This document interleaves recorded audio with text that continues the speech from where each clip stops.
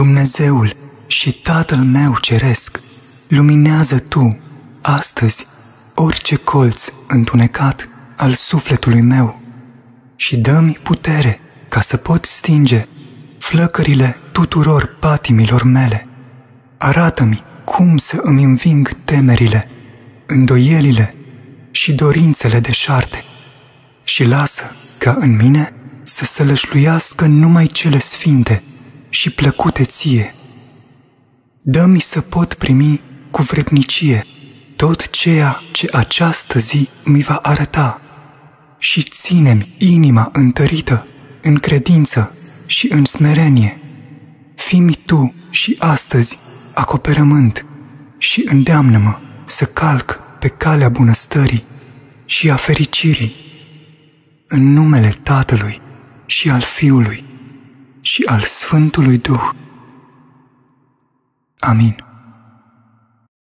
Sfinte Doamne, prea bunule Părinte, Cel ce stingi focul pătimaș și aduci lumină în întuneric, dă-mi putere să îmi înving teama ce uneori mă apasă și alungă-mi grijile ce fără rost mă împietresc și îmi irosesc timpul, ținându-mă în loc sau abătându-mă de la drumul tău. Dă-mi să primesc cu pace sufletească tot ceea ce viața îmi va aduce și învrednicește-mă să îmi petrec zilele cu inimă întărită în sfânta credința ta, oricare vor fi experiențele prin care voi trece sau veștile pe care le voi primi. Dă-mi, Doamne, să nu uit că peste toate este voia Ta și că în toate faptele și cuvintele Tu îmi ești alături, călăuzindu-mă și sprijinindu-mă.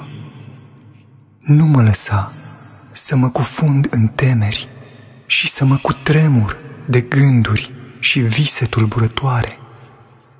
Fie că au venit peste mine din partea unui apropiat sau a unui neam sau a oamenilor din jurul meu sau printr-o situație profesională sau din cauza banilor sau a unei boli sau a persoanei pe care o iubesc.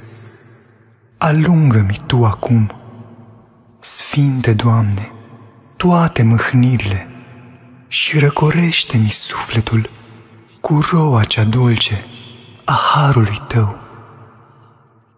Ci vindecă-mă Tu cu neobosita iubirea Ta și binecuvântează-mă ca să mă pot bucura de toate cele bune ce au să fie, cu gând bun și încrezător, răbdând, iertând, iubind și nădăjduind în Tine, căci Tu îmi ești acoperământ în vremurile grele și pe Tine te caut, să mă liniștești și să mă ocrotești și să mă luminezi și să mă smerești și să mă întărești și să mă îndemni spre calea bunăstării și a fericirii.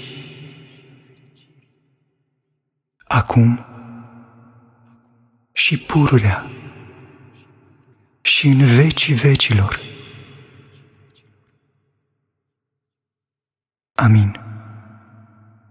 Și anume această carte, care se numește 100 de rugăciuni care mi-au schimbat viața, este cartea în care veți găsi cele mai puternice 100 de rugăciuni pe care nu le găsiți în nicio altă carte și vă recomand vouă, vă recomand fiecăruia și fiecăruia dintre voi.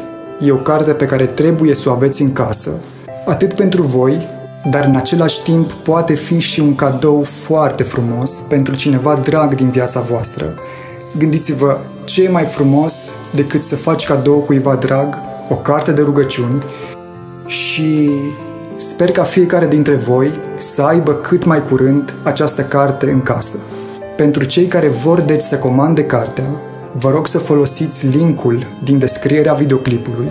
Este un link pe care îl găsiți uh, atât în descriere, cât uh, o să las și în comentarii, o să las în, în topul comentariilor și veți putea avea această carte în câteva zile Indiferent de unde sunteți din România, din orice colț al țării, cartea va ajunge la voi în câteva zile prin curier rapid și lăsați ca puterea acestor rugăciuni din această carte, care pentru mine au făcut atâtea și atâtea minuni, să facă minuni și în viața voastră. Dumnezeu să vă binecuvânteze!